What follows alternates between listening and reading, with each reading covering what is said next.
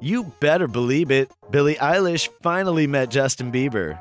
The Bury a Friend hitmaker previously admitted during her appearance on The Ellen Show that she's a huge fan of Bieber.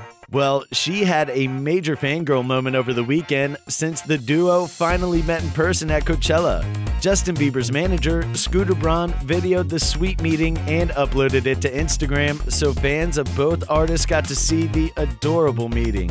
Billie seemed shook at first, with her just awkwardly staring at Bieber for a moment. But the duo soon shared a tender hug, an opportunity most Beliebers would have killed for. Billie seemed to be so excited by the meeting that she didn't want to let go, since the tight hug lasted for a while. That's not all. Justin even shared a photo of them together on his Instagram story where he stated that Billie has a long, bright future ahead of her. It seems that Justin is a fan of Billie too. After she finished her performance at Coachella, he wrote on Twitter that he was proud of her.